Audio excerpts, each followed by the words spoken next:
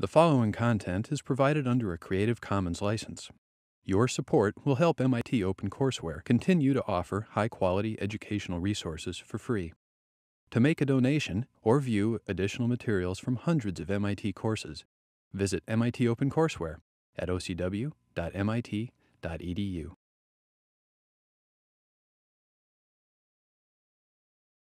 economics oligopoly, which is uh, basically trying to move towards the most realistic uh, modeling of markets that we can. We've talked about two extreme versions of modeling markets. One is perfect competition, which is uh, the extreme case of perfect entry and exit, free entry and exit, perfect consumer information, sort of an idealized market. We know that doesn't really exist in practice anywhere. The second extreme was monopoly, which we do see in practice in some places, in particular where there's natural monopolies. Um, we do see that, but that still doesn't describe most markets. Most markets are probably better described by oligopolies. These are markets where there's more than one market player, yet where each firm is large enough to actually affect the price. So basically, an oligopoly market is where there be a small number of firms in a market with substantial barriers to entry from additional firms. Okay, an oligopoly market with a small number of firms was enough barriers to entry that additional firms don't enter. Okay, so the classic example of an oligopoly industry would be, say, the auto industry. Okay, here's a market with a small number of dominant players. There's been some entry and exit over time, obviously, but it moves pretty slowly. By and large, it's a market where there's very limited entry. And the question is, how do firms behave in this market? They aren't, obviously, it's not like perfect competition where they can sort of lazily take a price out of the market and just produce based on that price. But it's also not the same as monopoly where they can just get to set the price and not worry about what other people do. They're in this in-between situation where they have price setting power, they have some market power, but in a context where they have to worry about competitors. Okay? And so in this context, there are two different ways firms can behave. It's important to sort of lay out to start two different ways firms can behave. They can behave cooperatively or non cooperatively. If they behave cooperatively, we say that they form a cartel. So, our cartel is what happens when oligopolistic firms, when firms in an oligopolistic market behave cooperatively to determine the outcome. We call that a cartel. Okay? The classic example, of course, here being OPEC, the Organization of Petroleum Exporting Countries, which is a cartel that drives the price of oil. Okay? Those countries cooperate in how much oil they produce to move the price up or down according to what the group desires. Okay? And essentially, what cartels do is essentially turn oligopolies into monopolies. So what cartelization does, what a cooperative equilibrium does, is essentially say let's all get together and behave as if we're one big monopoly by cooperating. Okay? Now, and therefore, if you cooperate, you can get all the wonderful things monopolies get, huge market power, huge profits, etc. But as we'll talk about next time, it turns out to be pretty hard to get a cooperative oligopoly. There's lots of reasons why it might fall apart. And that's why in most oligopolistic markets, firms behave, not, behave non-cooperatively. Okay, in most oligopolistic markets, firms are behaving non-cooperatively. They're competing with each other, not cooperating. Okay, and that's what we're going to spend today analyzing is the case of non-cooperative oligopolies.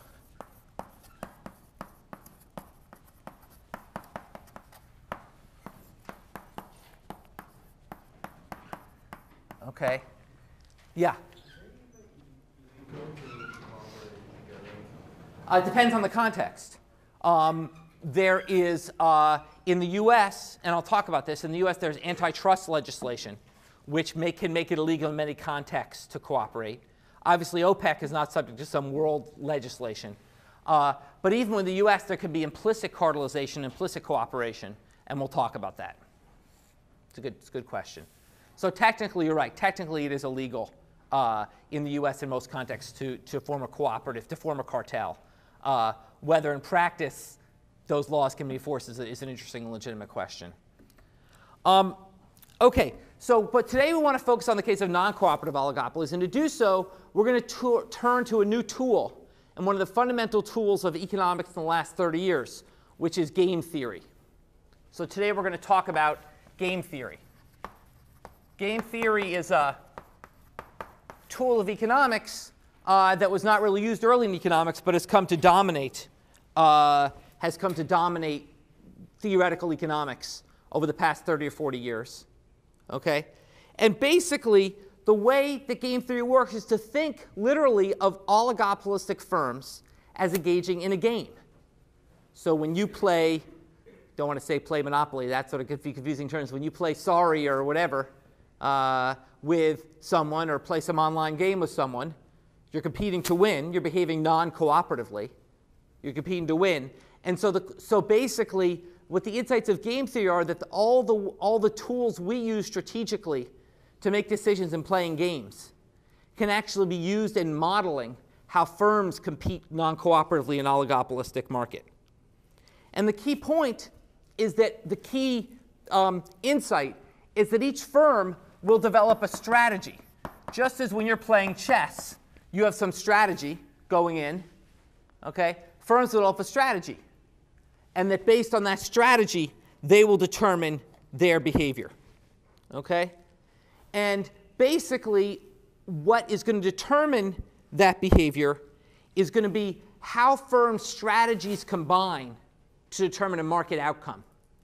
How to, when firms come in with different strategies, or with a bunch of firms with strategies come in and compete with each other, what determines the market outcome? And what that's going to depend on is something we call an equilibrium concept, which is how do we measure? Essentially, the equilibrium concept is basically in game theory terms. Think about how do we determine when the game's over? How do we determine when we've sort of decided on the outcome of a market? What's the equilibrium concept? So when you're reading the rules of a game, of a new game, you look for the first thing you look for is how do you decide who wins? That's kind of like what the equilibrium concept is. It's sort of what determines whether the game has ended? What determines whether you've reached uh, equilibrium, whether you've reached a point where the market is stable and therefore the game is ended? Not end in the sense the firm shut down, but end in the sense that you know what everybody's doing. So it's not quite like winning or losing. It's more just like what determines when you're in the point where, you're, uh, where that market is at equilibrium. Okay? Now, the most famous concept is due to John Nash, who many of you heard of from the movie and book A Beautiful Mind, and that's called the Nash equilibrium.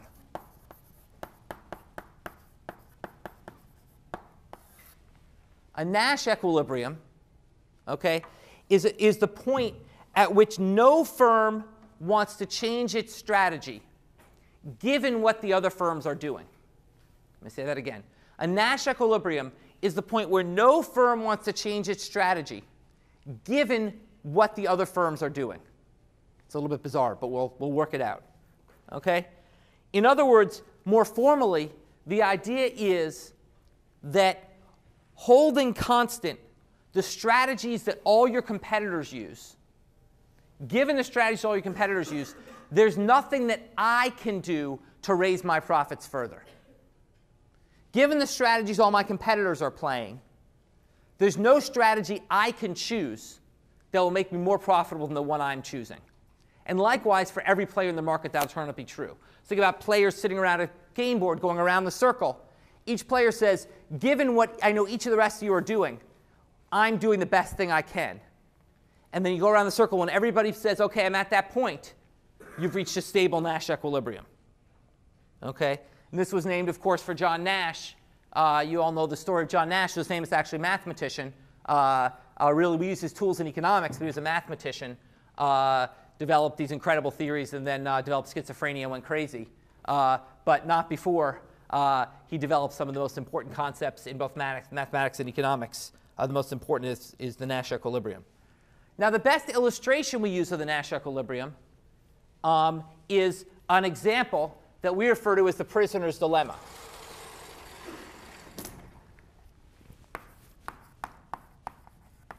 and many of you will be familiar with this from uh, more popular reading you've done in economics, but let me just go through it because it's important to understand it. The prisoner's dilemma.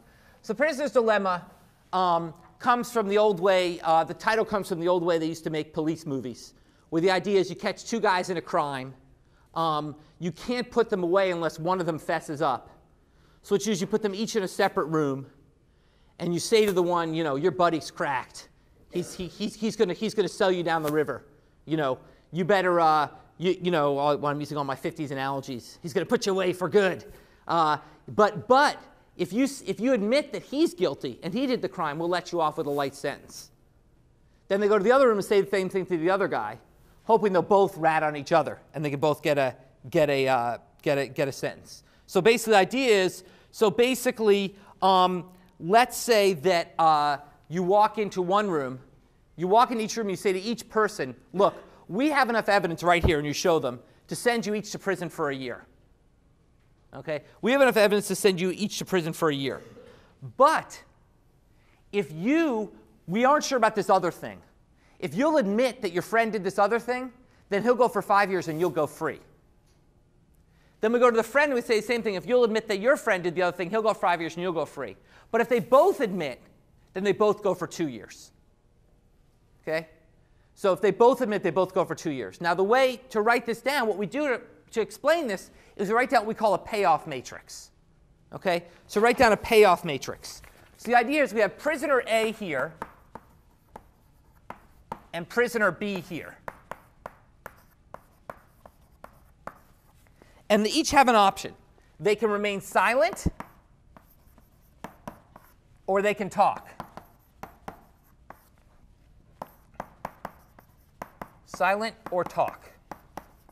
Okay? Now, if they both remain silent, if they both say, I would never rat out my friend, I'm happy to go to jail for a year rather than rat out my friend, then they each get one year in jail. A equals 1, B equals 1.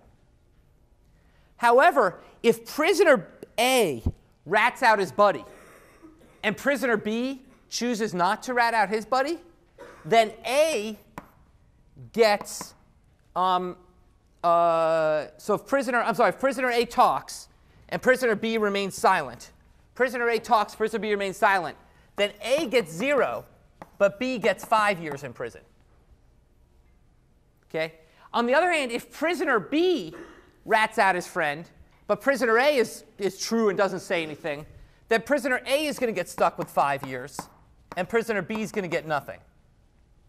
And if they both rat each other out, then they both get two years. Okay? So that's, people understand the payoff. Are there questions about the setup here? This is complicated, so got to make sure I understand the setup. Okay, now, can someone tell me if A and B could truthfully cooperate, what would be the optimal cooperative strategy? Yeah. Right, you'd both be silent. So the optimal cooperative strategy is clear, which is to both be silent. So if the cop said, you know what, we'll let you guys get together and discuss what you want to do first, which the cops would never be stupid enough to do. But if they did, and the guys could trust each other, then that's the optimal cooperative strategy. Okay? And we call that, what we call optimal in the context, in the language of game theory, we call that the dominant strategy. A dominant strategy a dominant strategy, okay, is the best thing to do no matter what the other guy does. Okay, it's the dominant strategy. So the dominant cooperative equilibrium strategy is to both stay quiet. But what's the dominant non cooperative strategy? What is the dominant non cooperative strategy? Okay? So let's think about so the ways of the dominant strategy, we run through, take prisoner A, ask the following. The dominant strategy is, is there a strategy that makes him better off regardless of what B does? Is there a strategy that makes A better off regardless of what B does? Let's go through. If A remains silent, okay, if B remains silent, he gets a year. If B talks, he gets five years. Now compare that to prisoner A's strategy of talking. Well, if he talks, he's better off than if he doesn't talk, if B's remaining silent. If he talks, he's better off than if he doesn't talk if B talks. That is, regardless of what B does, he's better off talking. Regardless of what B chooses to do, his dominant strategy is to talk. Because if B is silent, he's better off if he talks. If B talks, he's better off if he talks. So no matter what B chooses to do, A is better off talking. Okay? What about B? Well, B, by the same logic, is always better off talking as well. No matter what A chooses to do, B is better off if he talks. So where do we end up? What ends up as the, as the Nash equilibrium? The Nash equilibrium is that both prisoners talk. The dominant strategy for both prisoners is to talk. And they both end up worse off than they could have, if they could have cooperated. So the dominant non cooperative strategy is to both talk. Even though if they could get together, okay, even though if they could get together, they'd be better both not talking. And this is basically how game theory works. Game theory math gets incredibly hard, and if you're interested, 1412 is one of our most popular undergraduate courses, game theory. It's a great course where you take this and go run with it for a whole semester. It gets very complicated mathematically. But basically, the basic idea in game theory is pretty straightforward, which is just ask, are there dominant strategies that can be played by each player? If each player has a dominant strategy, and those dominant strategies lead to a Nash equilibrium, then you're done. Here, we're in a Nash equilibrium. Why are we in a Nash equilibrium? Because given that A has talked, B's strategy, which is talking, is the optimal thing to do. Given that B has talked, A's strategy, which is talking, is the optimal thing to do. So given what the other person's doing, each person's doing the right thing. So you're Nash equilibrium. Okay. Given that B has chosen to talk, A is talking. That's the, that's the profit maximizing thing to do. Given that A is talking, B is talking, that's the profit maximizing thing to do. So given the strategy the other player's chosen, that's an equilibrium. Yeah?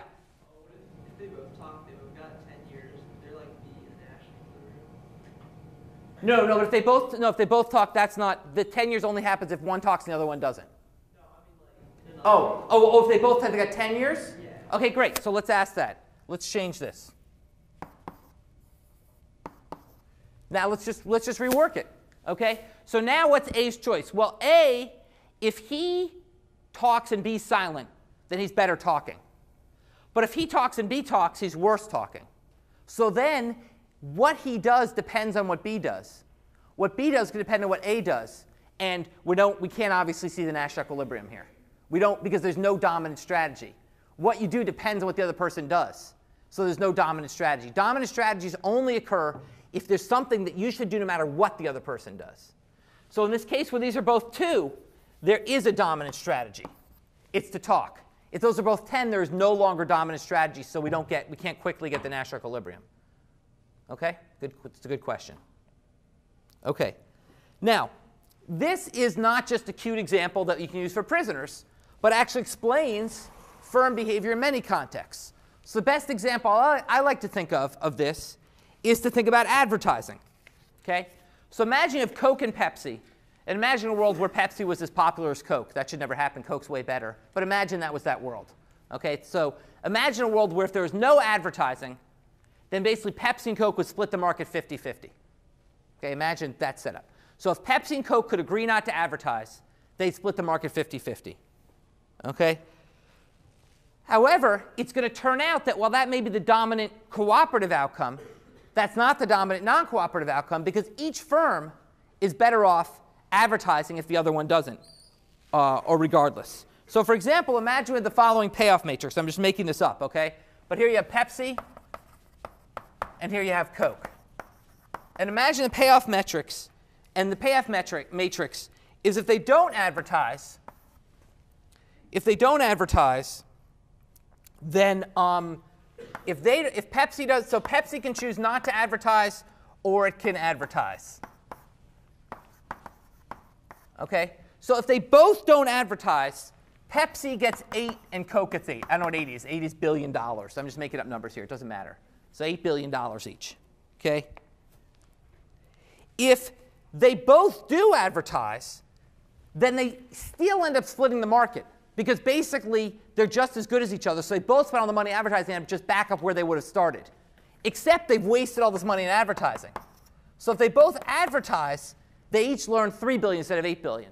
That is, they each split the market. They end up back where they would have started, but they've pissed away a bunch of money advertising along the way. However, if Coke advertises and Pepsi doesn't, then Coke makes, then all of a sudden everybody sees Coke, Coke, Coke everywhere. It's like Pepsi, never heard of that. Okay?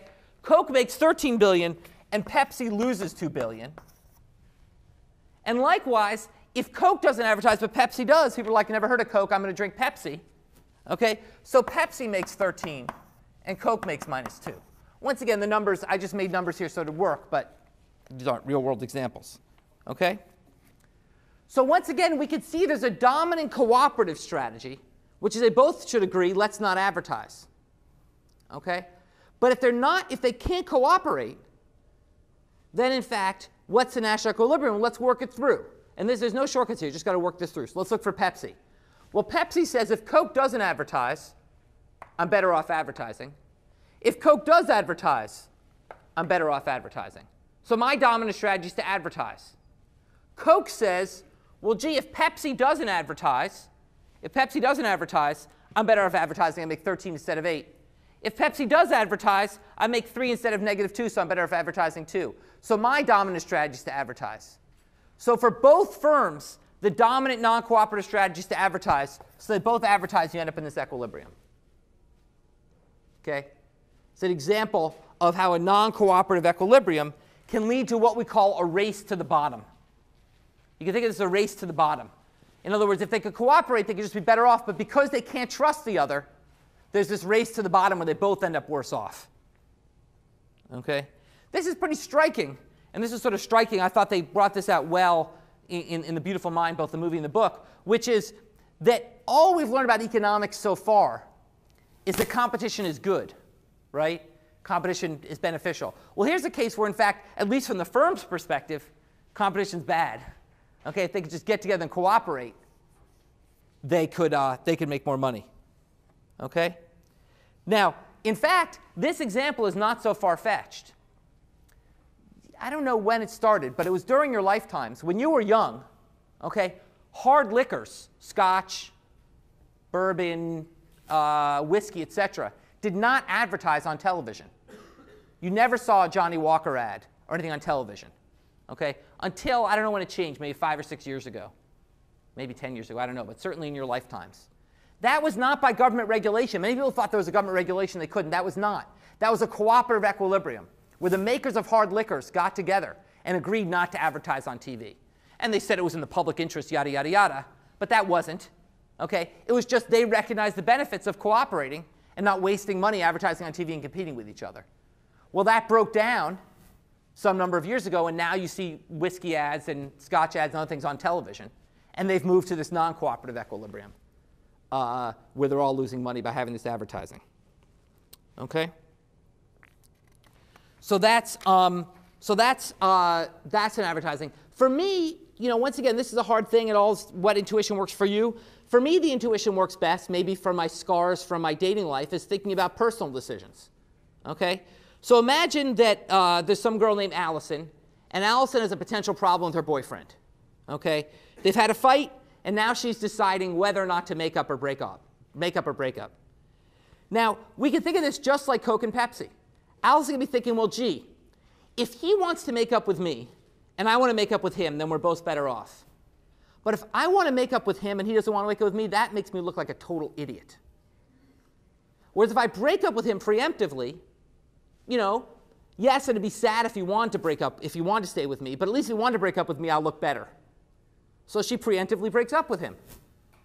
John, her boyfriend, thinking the same thing, does, behaves in exactly the same way. So it could be that even though they both would be better off if they just said, look, the honest truth is, you know, we're both wrong, let's make up and we'll both be happy. Because they're so afraid of being the one being dumped, they end up breaking up. Now, we all know of examples like this from life where people basically stupidly, if they could have just cooperated, a better outcome, because they're so afraid of being left with the short end of the stick, they don't cooperate, and you end up with a worse outcome for both. That's an example of a non cooperative equilibrium, okay, in real life. Now, in real life, there is one aspect of oligopolistic non cooperative equilibria that allow them to be enforced, however, that allow you to overcome the prisoner's dilemma. There's one thing that allows you to overcome the prisoner's dilemma, and that's repeated games.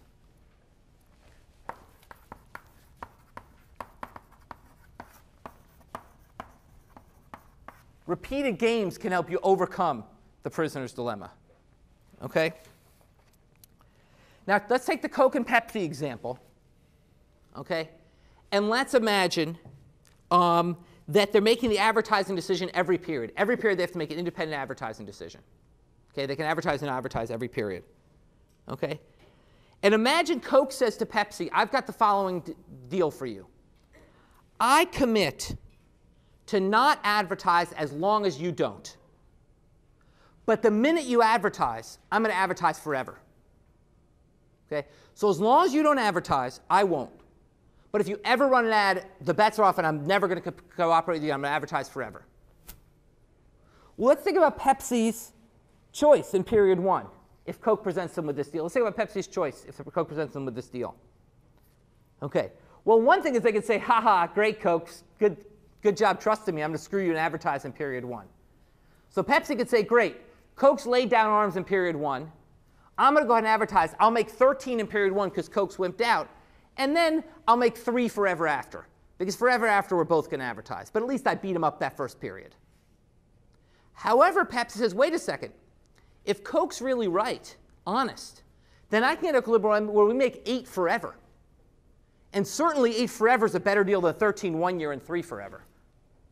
So in fact, if Coke's willing to live up to that promise, then that is a good deal. And actually, we can turn this non cooperative equilibrium into cooperative equilibrium through the enforcement of a repeated game. Through the fact that this game gets played over and over and over again, okay, the fact that this game, play, game gets played over and over and over again, you can enforce a cooperative equilibrium. We can come back to relationships again. If you're in a committed relationship and you know that if I say it's your fault over and over again, eventually the person's going to leave, then people say, gee, I'm willing to take some of the blame and not always say it's your fault and we have a fight. Because I know that if I always say it's your fault, ultimately that'll break the relationship up and that makes me worse off than admitting it was my fault some of the time. It's the same logic. Yeah? the game to make more than the other guy or to make as much as possible? Make as much as possible. Make as much. That's a good point. I presume that the point is to make as much as possible, and you don't. I, I presume I'm ruling out cut off your nose to spite your face equilibria. So, in other words, I'm, I'm, I'm assuming the goal is to maximize profits, not relative market position. It's a good point. I should have made that assumption clear. That's the assumption we're always doing. The assumption we're always making whenever we do confirm behavior is we're assuming it's profit maximization. So repeated games can enforce a cooperative equilibrium, essentially, even in a non-cooperative setup. But it turns out this only works if the game goes on forever. Okay? This only works if the game's going to go on forever. So for example, Imagine that Pepsi knows that in 10 years, the US government is going to ban the advertisement of sugared sodas. The US government is going to finally say, look, people are too obese, no more advertising sugary sodas. Okay, Pepsi knows this. In 10 years, that's going to happen. Well, Pepsi's thinking, gee, that means in year 10, I should advertise. In that last year, I should advertise because Coke can't punish me the next year because no one can advertise the next year.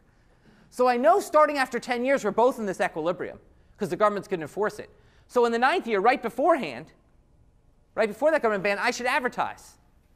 And Coke can't, can't get me the next period because they don't have the tool to punish me. Well, Coke, of course, knows Pepsi's going to behave that way.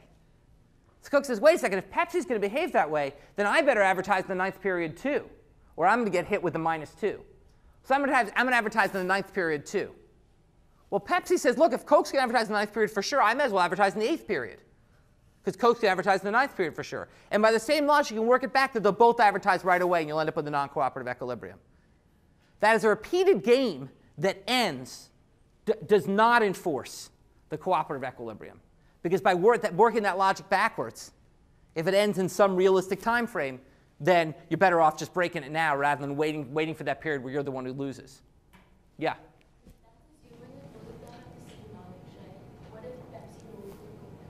Exactly. No, if, if, if, they don't, then you could imagine that if Pepsi knows this and Coke doesn't, then Pepsi's optimal strategy will be to cooperate till the next to last period and then go ahead and screw Coke, and then Coke will lose.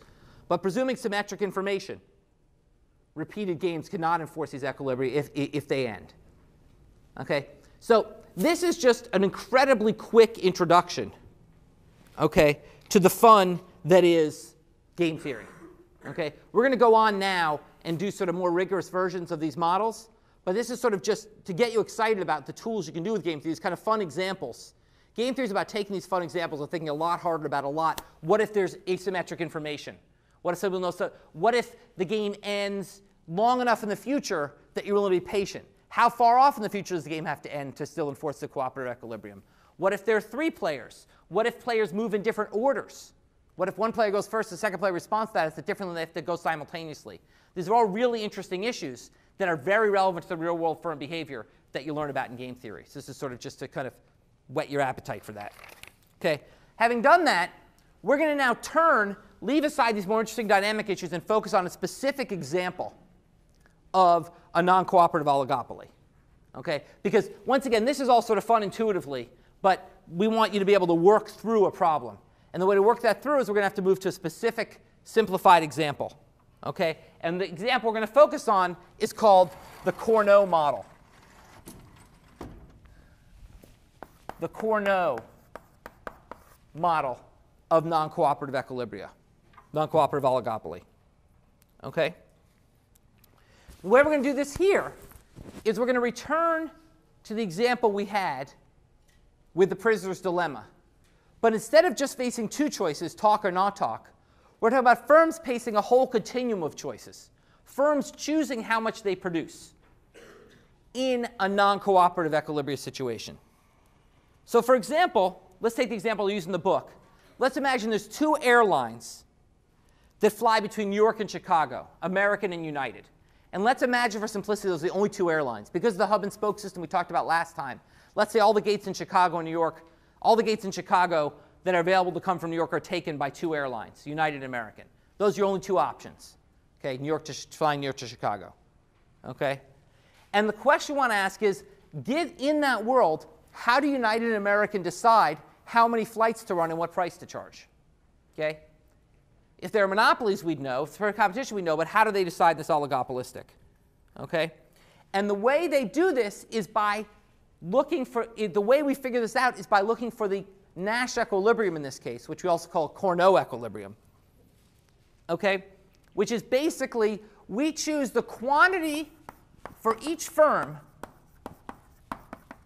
The quantity for each firm is chosen, quantity is chosen by each firm such that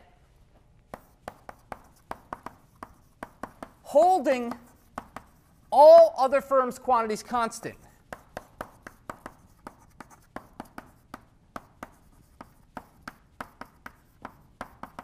So each firm chooses qu quantity such that holding all other firms' quantities constant, they are maximizing profits.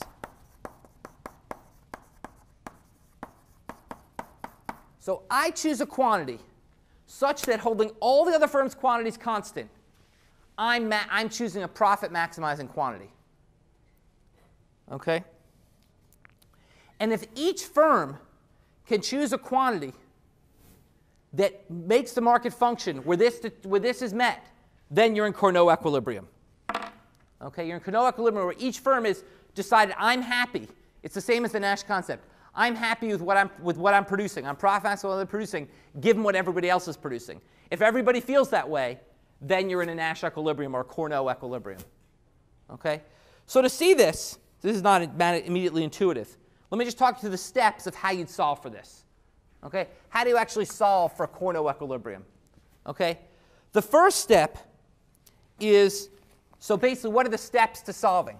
Step one for solving a Cournot equilibrium is to ask, is to create each firm's residual demand. So compute residual demand. We talked about residual demand curves earlier, which is that's the demand for my firm given the sort of quantity absorbed by other firms in the market. Okay, in this case, it's quantity absorbed by the one other firm in the market. But in general, you this with multiple players. First is you calculate residual demand. Okay? Then, having computed your, your, your residual demand, okay, you basically develop a marginal revenue function. You calculate your marginal revenue, which will be a function of other firms' quantities. So your residual demand will you, lead you to calculate a marginal revenue function. It's a function of other firms' quantities. Okay? You then do the same, do 1 and 2 for all firms. So for each firm, you end up with a marginal revenue function. It's a function of all of the firm's quantities. And then that leaves you, step four, is you have n equations in n unknowns, and you solve.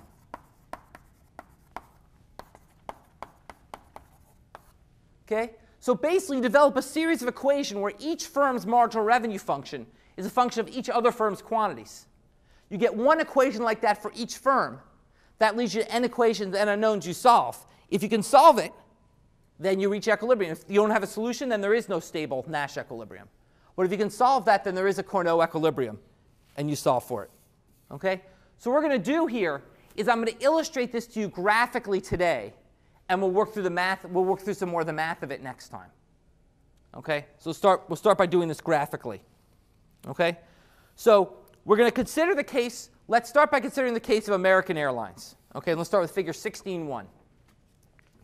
Start by considering the case of American Airlines.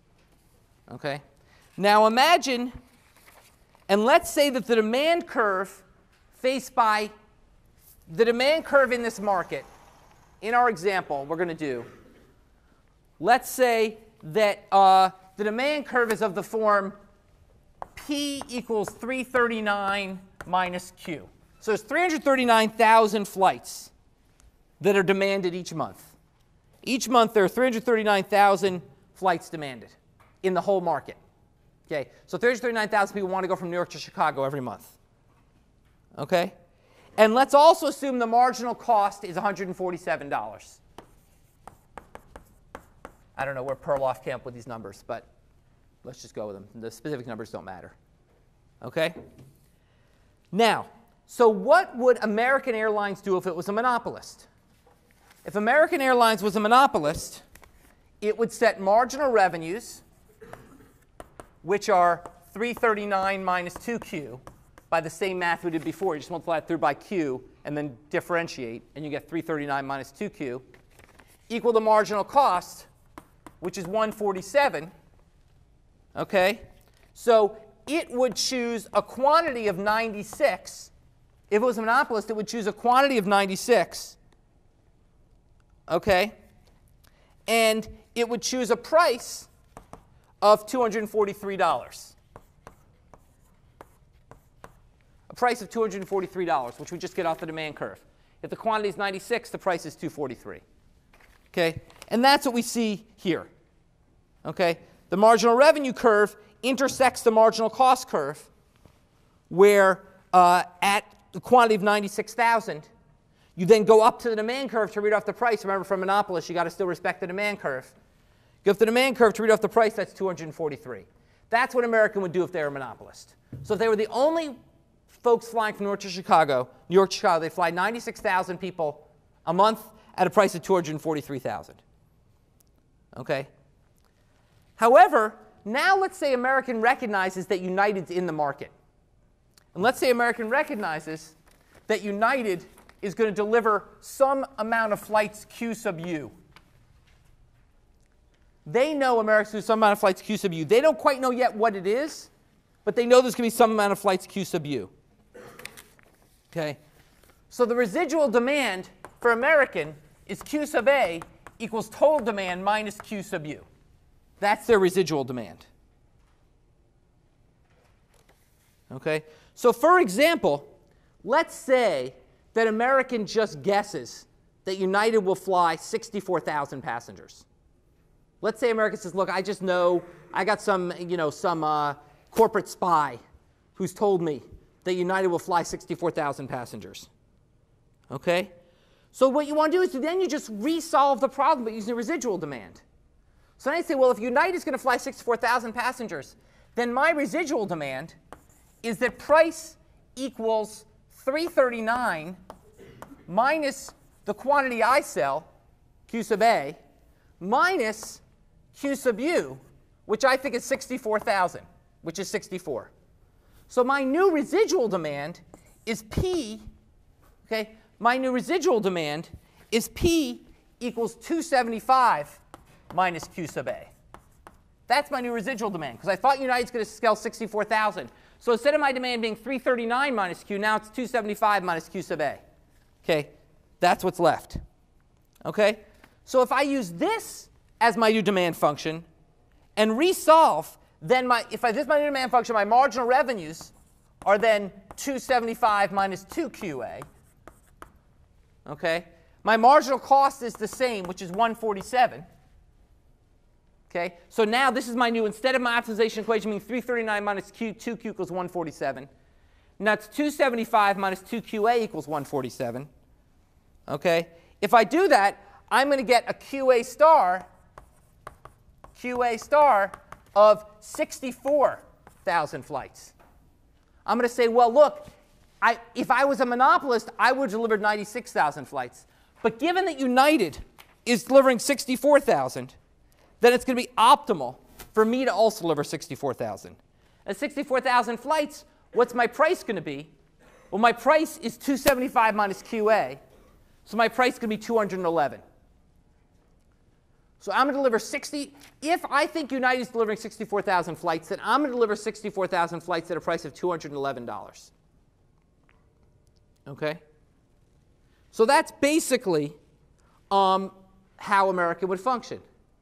Now, what's strange about this is American doesn't know how many flights United is going to deliver. There isn't such a thing. In fact, United really, it's not like there's some rule which says we're going to deliver 64,000. United's figure, trying to figure this out too. So, in fact, simultaneously to American making this decision, United is making the same decision. And they're going through the exact same math. They're saying, well, gee, given how much American flies, how much should we fly? Okay? They're going through the same math.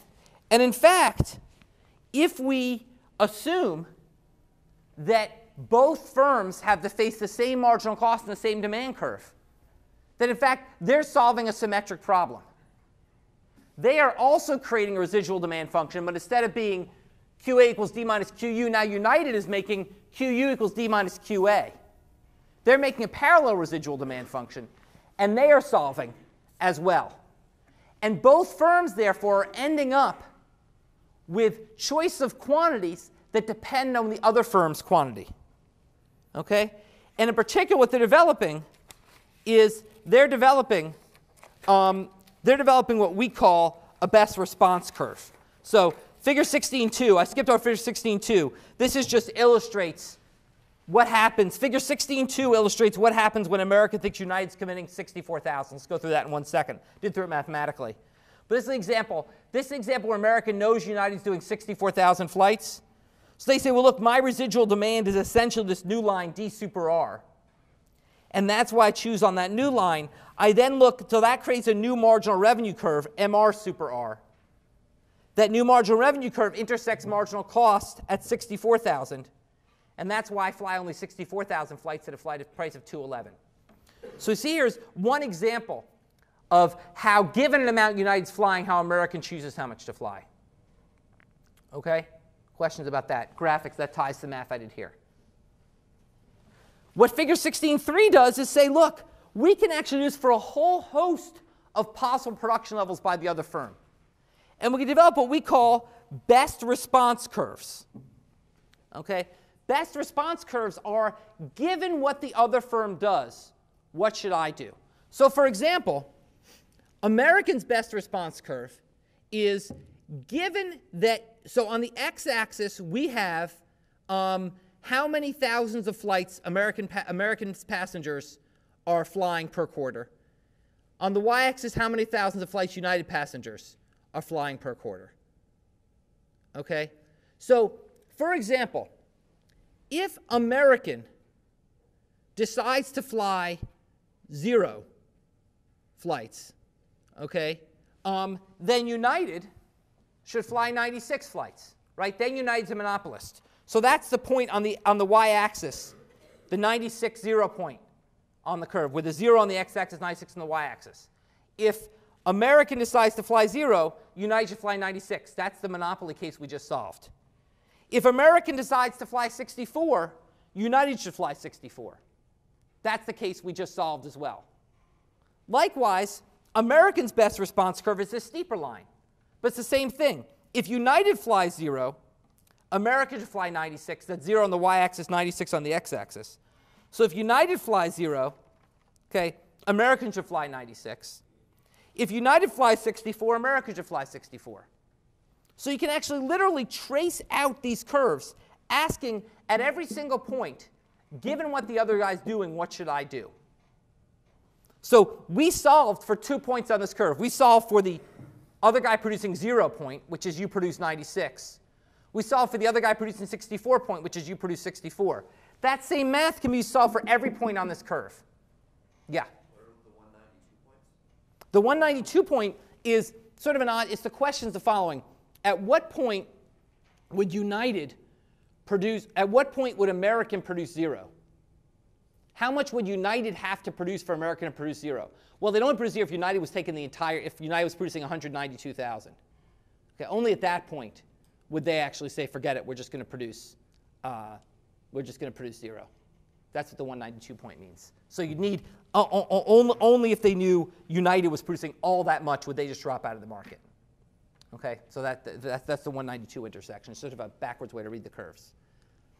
But the bottom line is, essentially, we can write these best response curves as the, they're basically the quantity I'm going to produce given the quantity the other firm produces.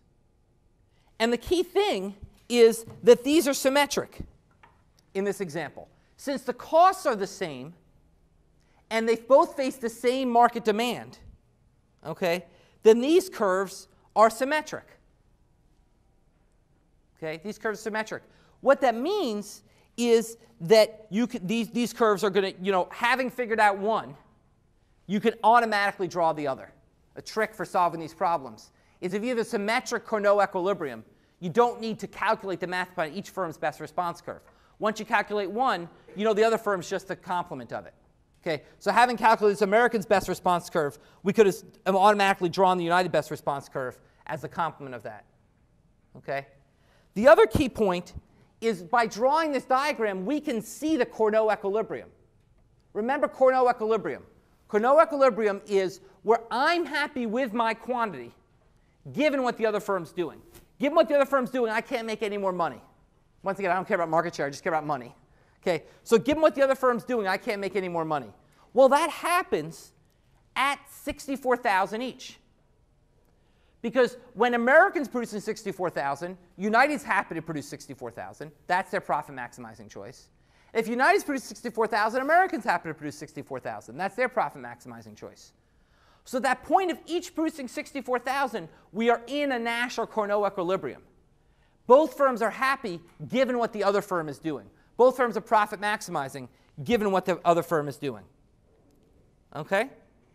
Now, so basically, for example, another way to look at this is that you're only in equilibrium if you're on both firms' reaction curves. So, for example, um, American might say, look, the, the equilibrium I like is where I do 96,000 flights and you do none. So the equilibrium I like is on the x-axis, uh, the point 960, where I do 96,000 flights and you United do none. United says, however, United says, no, that's not optimal for me. Because if you're doing that, then you're charging a price of $243. So there's money to be made for me. I can come in and start stealing some of your flights. So that's not an equilibrium from my perspective. It might be an equilibrium from your perspective. You're delighted you're a monopolist. But not from my perspective. At that price, I'll come in and start stealing some of your business. And I'm going to start stealing some of your business. As I steal your business, you're going to have to move up your best response curve. Okay? Because I'm taking, because your residual demand is shrinking. And you'll only reach equilibrium when you're both happy with the outcome. If only one firm's happy with the outcome, the other firm can always change its behavior, raise its price up or down or its quantity up or down to change the market share and change the outcome. So equilibrium will only be when you're both firms' best response curves. You'll only be on both firms' best response curves where they intersect. Okay? let's stop there. I'm going to come back next time. Um, and uh, Jessica, we should have the same handout next time. Uh, let's make sure this figure's in the handout next time as well. Um, and we'll come back and talk about this last figure, and we'll do the math behind it as well.